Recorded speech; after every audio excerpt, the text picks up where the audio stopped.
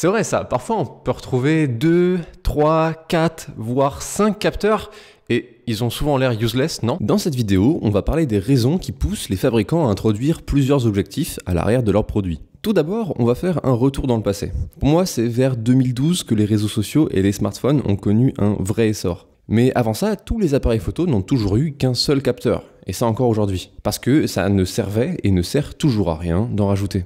La grande différence quand même, c'est qu'un smartphone, ça rentre beaucoup mieux dans une poche qu'un appareil photo, et c'est euh, de très loin un de leurs plus grands avantages. Un appareil photo, ça prend v'là de la place, euh, c'est chiant à utiliser, euh, faut penser à le prendre, etc. Mais alors, pourquoi est-ce que les youtubeurs et les photographes continuent de les utiliser? Pour une raison simple, la lumière. Au plus tu captes de la lumière, meilleure la photo.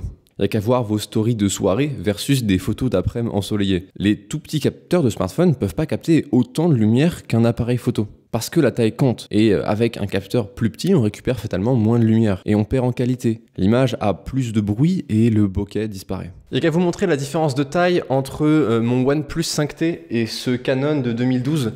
Euh, on n'est vraiment pas sur la même échelle, ça c'est carrément beaucoup plus gros. Même le capteur du dernier iPhone 14 Pro Max fait 11 mm par 8 mm en taille et se fait tout petit par rapport au 22 par 15 du Canon, qui lui permet de capturer plus de 4 fois plus de lumière que l'iPhone. Ok, mais si c'est si simple, pourquoi est-ce qu'on n'est pas des énormes capteurs sur les smartphones? On pourrait avoir un module qui fait toute la taille du téléphone comme ça et let's go. Mais justement, c'est pas si simple, car pour faire converger la lumière correctement sur un énorme capteur, ça demande aussi des objectifs beaucoup plus gros. Rien que l'objectif qui me filme fait 9 cm de longueur et c'est vraiment inconcevable que ça se retrouve sur des smartphones qui dépassent euh, franchement rarement les quelques millimètres. Il rentrerait plus du tout dans une poche. D'ailleurs, vous avez sûrement remarqué que le bump du module de caméra sur les smartphones sont de plus en plus profonds. Je pense notamment au Pixel 7 et à l'iPhone 14 Pro qui en ont profité pour rendre ça comme une touche de design, que ce soit euh, par un super gros module ou par euh, une sorte de visière.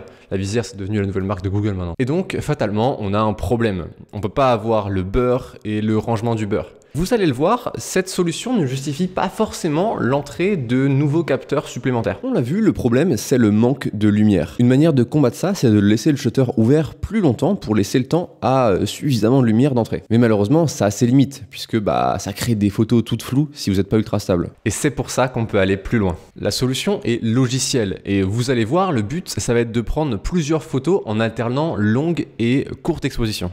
Par exemple, on va dire qu'on va prendre trois photos sur une période d'une demi-seconde. On va commencer par la plus rapide avec un shutter de 1 trentième qui va permettre de capturer des détails très nets sur les visages. On va en prendre une deuxième à 1 dixième et la plus longue à 1 tiers de seconde pour obtenir toute la qualité de l'image sans bruit et récupérer de meilleures couleurs quand il fait sombre. Ensuite, on va faire tourner un algorithme qui va choisir les meilleures images et les fusionner ensemble. Par exemple, si on est de nuit, on va utiliser la photo avec la plus grande exposition pour la globalité.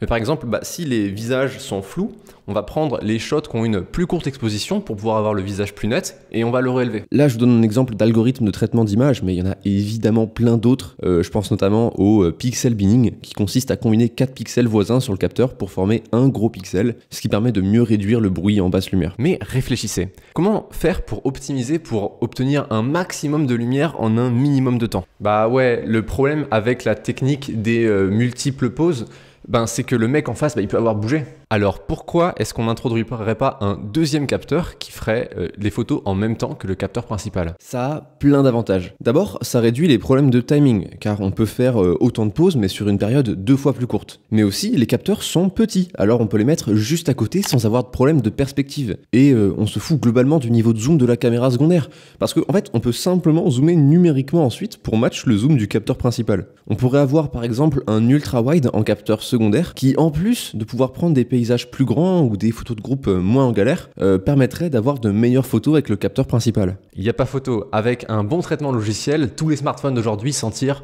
aussi bien, voire mieux que les appareils photo de vacances de l'époque. Sauf sur un point, le zoom. Sur n'importe quel système photo, le zoom est directement relié à ce qu'on appelle la distance focale, ce qui en gros définit la distance à laquelle une image est produite nette sur un capteur. Si vous doublez la distance focale, vous doublez aussi le zoom. Voici un exemple rapide. L'objectif que j'utilise a une distance focale de 16 mm, on a un zoom x1. Maintenant, je peux le changer pour un 35 mm, ce qui va me donner un zoom x 2,2. Mais alors pourquoi est-ce que j'utilise un deuxième objectif au lieu de zoomer numériquement? Tout est une histoire de qualité. Bon alors, vous me direz que comme je filme cette vidéo en 4K, ça change pas grand chose, mais je ne suis pas d'accord. Déjà, la perspective, elle est complètement différente.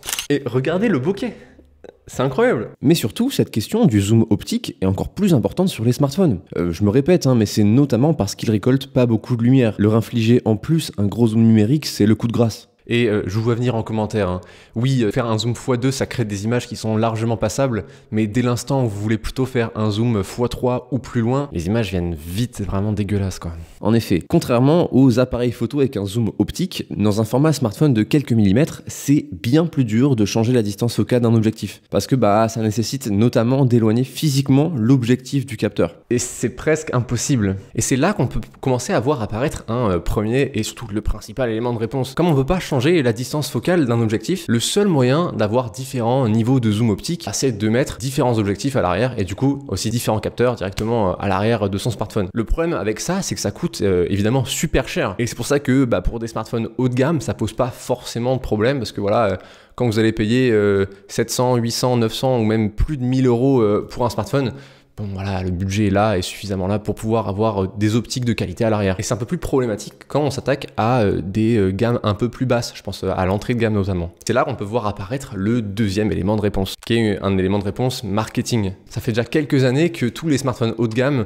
ont plein de capteurs à l'arrière du téléphone et c'est devenu un peu un élément premium, un élément de différenciation au, au sein, des, au sein des smartphones que d'avoir plusieurs capteurs à l'arrière. Du coup, ben, pour pouvoir choper des clients et avoir une bonne image, même dans les gammes euh, les moins chères, et ben, euh, avoir plusieurs capteurs à l'arrière de son smartphone, même quand il coûte 300 euros, ça va être plutôt bien vu. Et tout au long de la vidéo, vous avez pu voir des smartphones euh, pour illustration. C'est notamment ceux de mes potes. C'est dans la globalité, pas tous, hein, des smartphones plutôt entrée de gamme. Et ils me disent que voilà, ben, même s'ils ont 3, 4 objectifs à l'arrière, ben, le zoom x2 pue la merde, du coup c'est plutôt inutilisable. C'est un, un peu dommage quoi. Et je pense que dans tout ce cadre-là, il faut pas non plus oublier euh, la raison de la photographie algorithmique. Euh, voilà, par exemple, sur mon smartphone, j'ai un OnePlus 5T, il date de 2017, et ces deux objectifs-là, c'est deux objectifs x1. Comme quoi, ça sert euh, aucune envie d'avoir du zoom optique sur ce smartphone, mais c'est purement et simplement pour avoir une meilleure capacité de traitement d'image. Ça se fait plus trop aujourd'hui de faire ça. Voilà, j'aurais kiffé qu'il y ait un ultra wide ou un téléphoto à la place du deuxième capteur sur celui-là. Mais bon, voilà, c'est saut 2017. J'espère que cette vidéo vous a un peu intéressé. Ma prochaine, ça sera sur l'utilisation euh, d'écouteurs pour le gaming. Si vous êtes un euh, viewer du futur, vous pouvez la retrouver euh, juste ici. Et sinon, bah voilà, c'était Antonin, vous regardez l'auberge des internets et je vous revois dans la prochaine vidéo. Ciao